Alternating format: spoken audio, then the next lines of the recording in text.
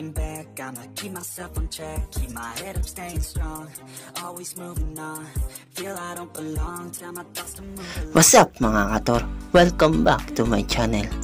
In today's video mga kator, itatry po natin mag-withdraw po sa new purse.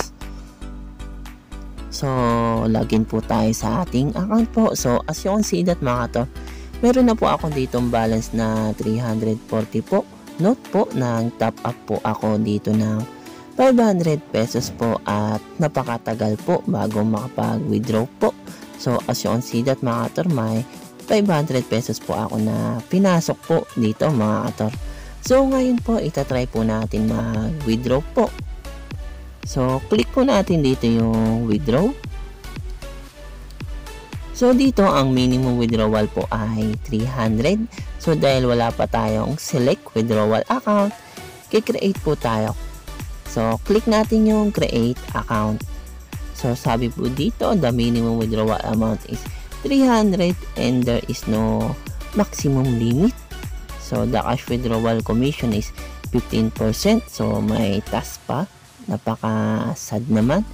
And dito po kailangan po na tama po yung ating ilalagay po and then 24 hours po ay marireceive daw po natin and then try po natin lagay po natin dito 300 so magiiwan po ako ng 40 pesos po so click po natin iyan. And then dito, mamimili po kayo dyan mga kator kung bank o TRC 20 po kayo. So dahil bank po tayo, Gcash po, please select. Siyempre, Gcash po yung ating pipiliin dyan mga kator. So, it depends on you mga kator kung anong payment ang gusto ninyo pero para mas mabilis, Gcash na lamang po dahil wala po ako ng iba dito mga kator. Gcash lang malakas. So, ayun po, piliin po natin dito yung Gcash po. So, hinanap ko pa eh, nasa una lang pala.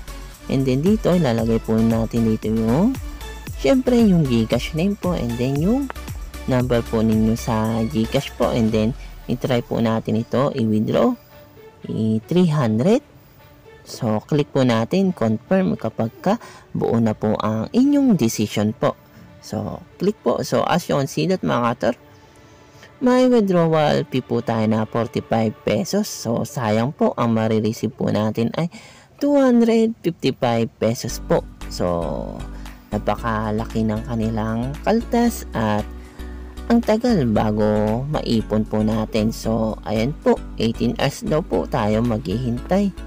So, withdrawal success. So, as you can see that mga kator, 40 pesos na lamang po ang natira sa aking wallet balance. So ngayon po mga kator, i hintay na lamang po natin pumasok yung ating payment po. So as you can see that mga kator, you have received 255 of Gcash from Union Bank of the Philippines. So dito po, good day, you have received 255 to your account.